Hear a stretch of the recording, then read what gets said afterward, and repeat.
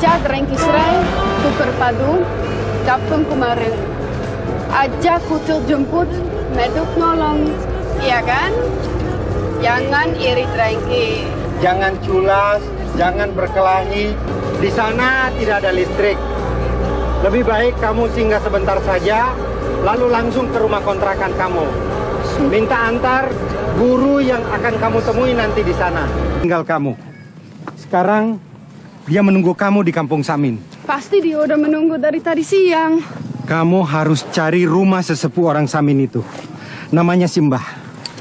Ingat, jangan lupa. Oke, thanks. Mbah, kenapa pintunya tidak ditutup saja? Bagaimana mau ditutup? Wong tidak ada daun pintunya.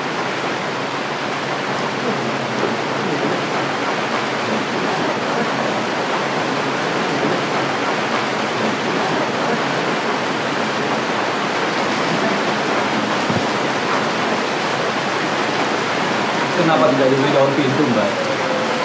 Kenapa mesti dikasih daun pintu? Wong tidak akan ditutup. Kenapa tidak ingin menutup pintu, Mbak? Kenapa mesti ditutup kalau memang maunya supaya terbuka? Maksud saya gini loh, Mbak. Malam-malam begini kan, angin, tampias hujan, udaranya juga begitu dingin. Ya, itu semua kan bagian dari kehidupan. Udara untuk kita bernapas. Air memelihara hidup kita. Dan api untuk bakar jagung ini. Lalu bagaimana kalau kita tidur, Mbak? Apa pintu tetap terbuka seperti ini? Tidak ada yang perlu dirisaukan. Wong kita saling percaya kok. Kami percaya pada alam, dalam alam percaya kepada kita.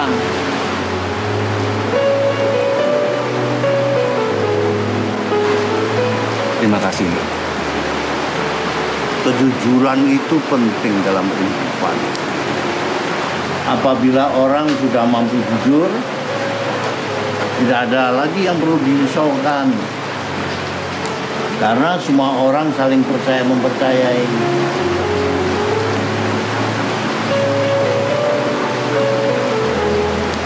Desa ini pernah kena longsor kan, Mbak? Iya, itu kan maunya alam. Alam kan selalu ingin menjaga keseimbangan. Itu juga sebagian dari kejujuran. Kamu saja yang menganggapnya itu sebagai bencana. Apa di desa ini tidak pernah ada pencurian, Mbak? Kenapa barang mesti dicuri? Kalau diminta saja diberikan kok. Tapi kan tidak semua orang berpikiran begitu, Mbak. Seluruh warga desa Samin ini kaum sikap. Kita semua satu pikiran. Kalau ada yang berbeda pikiran, pasti tidak akan betah dan lalu pindah ke kota atau ke mana saja. Desa ini bisa kehabisan anak muda, Mbak.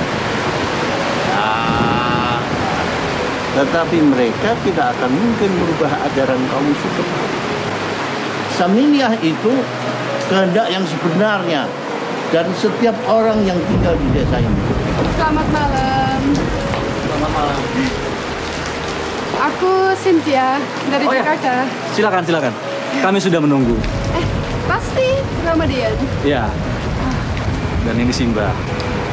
Maaf ya, aku terlambat. Oh, nggak apa-apa. Saya sengaja di rumah Simba ini supaya kamu langsung tahu. Sini, duduk dekat Abi.